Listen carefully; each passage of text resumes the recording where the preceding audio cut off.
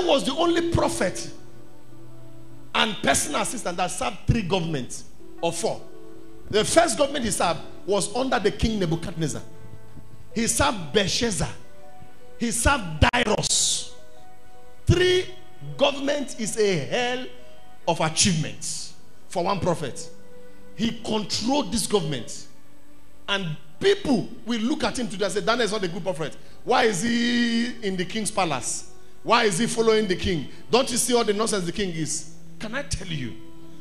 Until you get God's perspective, don't make a conclusion. I'm teaching you from the book of experience. Now, Matthew chapter 6. Let me show you something. Even our own king, our own Lord, had to tell us something about perspective. Jesus came to the region of Caesarea Philippi. Yes. He asked his disciples, He asked his disciples. Who do people say the Son of Man is? Now, this is people's, this is people's perspective. Now, watch. Why was he bothered? He's trying to teach us the kind of perspective. Now, he said to them, Who do people say?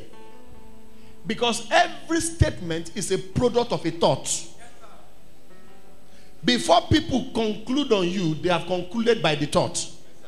So it is the thought that produces the statement. So he said to them, What do people or who do people say I am?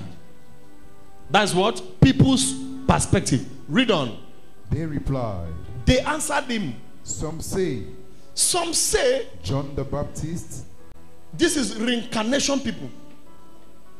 They believe you are the, a reincarnation of John. Even though John senior for six months, they believe you are a reincarnation. They still believe in reincarnation. Even with a wrong doctrine, they were analyzing Jesus. Well, they think we, we, you are the reincarnated John. In fact, let me tell you the truth. The reincarnation story of Jesus was not a small business. It was not small like you read in the Bible. Even Herod, it became a very big propaganda. Even Herod believed that Jesus was John the Baptist. Remember, he's his cousin in the natural flesh. So there must be a resemblance that Jesus has with John because they are operating similar genes. So when John was in prison and was killed, Jesus started his ministry. And anytime Herod looks at Jesus, he sees a striking resemblance of John. Therefore, it became a notion in the ideas of those who are close to Herod that this Jesus was the reincarnation of John the Baptist. So when Jesus said, Who do men say I am?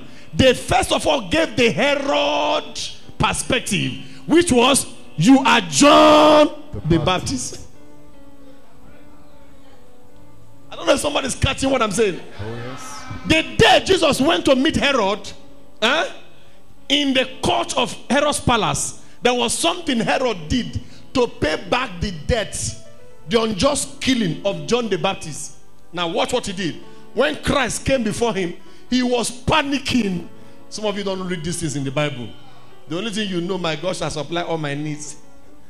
Be a Bible student. He stood before Herod, and Herod was panicking. He was, hey, this is John. Now look at his hair. Look at him. Look at he's John.